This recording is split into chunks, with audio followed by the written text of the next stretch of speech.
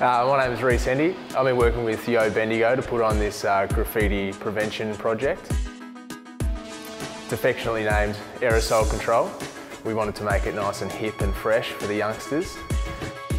It's aimed at reducing graffiti in the Bendigo CBD.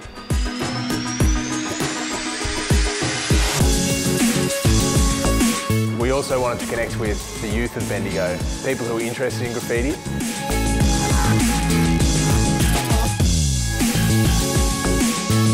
There was a couple of different types of sessions that we ran with these people who were interested in aerosol art. They included graffiti um, skills workshops and also some community awareness.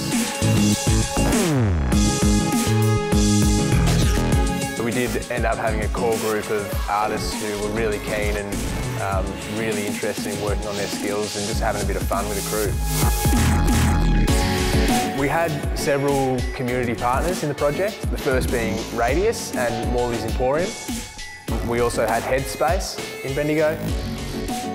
We were able to educate our participants in a uh, comfortable and safe environment with a visit from the police who were able to talk to everyone on a nice casual level.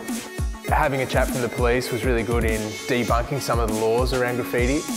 We're hoping that these graffiti artists now will be involved with Yo Bendigo in a more long-term basis and Yo Bendigo now has the capacity to run more graffiti programs um, now they've got a few connections and a greater understanding of the landscape in Bendigo.